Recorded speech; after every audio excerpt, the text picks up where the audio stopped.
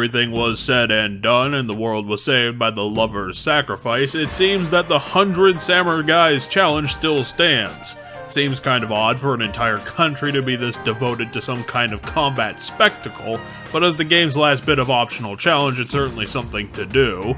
The fights get really repetitive after a while since there's a goddamn hundred of them, especially if you leave this to the end since you come in rocking with some health items and Bowser can totally destroy every challenge they put in front of you. Sure, some have their gimmicks like being able to flip dimensions and summon annoying ninja minions, or be tiny and fast, or huge and tanky, but as you've seen throughout this entire video, each one can be beaten in seconds flat, even without the slightest bit of grinding, as long as you sit on it until the end.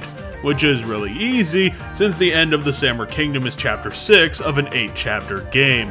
Honestly, it's a really silly challenge with the only satisfaction being the challenge itself. It's cute to hear all the silly samurai names and how totally into it they are, but the combat's as vestigial as ever and the only reward is more fucking trading cards! I get that Paper Mario games like to dangle the fruits of completionism over the player, since that's the only point to collecting all the recipes, cards, and whatever else is the collecting itself. Since Nintendo doesn't do achievements, then there really is no goddamn point to collecting them in the first place, and therefore this is another point in which Intelligent Systems is just slapping in nonsense bonus content with no rhyme or reason to the actual game.